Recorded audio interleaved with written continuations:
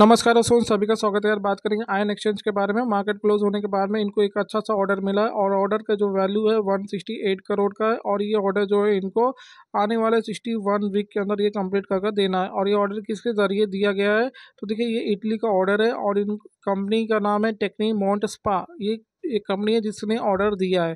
तो अभी क्या करना चाहिए इस लेवल पर? टेक्निकल के हिसाब से क्या करना चाहिए?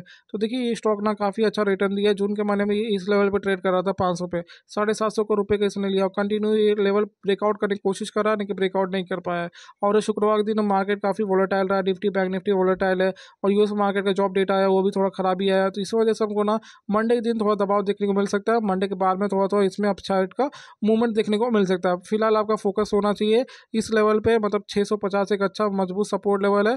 अगर ये लेवल होल्ड कर लेता है कल के दिन, मंडे के दिन तो फिर यहाँ पे हमको अच्छे मूवमेंट देखने को मिल सकता है। तो पहला टारगेट रहेगा सात सौ रुपये करेगा, दूसरा टारगेट साढ़े सात सौ रुपये तक का देखने को मिल सकता है। और बाई चांस अगर ये छः सौ पचास का लेवल तोड़ता है तो ये समझ लेना यहाँ पे आपको भारी भरकम सेलिंग देखने को मिलेगा, क्योंकि ये ना मल्टीपल सपोर्ट लेवल पर दिख रहे हो। जैसे एक, दो, तीन, बराबर ना, ये चार हो गया तो ये मल्टीपल सपोर्ट लेवल है। ये जैसे टूटेगा ना तो फिर समझ लेना आपको ना डायरेक्ट ना छः सौ रुपये का पहला गिरावट देखने को मिलेगा। अगर ये लेवल होल्ड नहीं कर पाया तो फिर पाँच सौ, पचास रुपये तक का भी गिरावट देखने को मिल सकता है। तो मज़बूत लेवल छः सौ पचास का यहाँ सब साइड का होना चाहिए।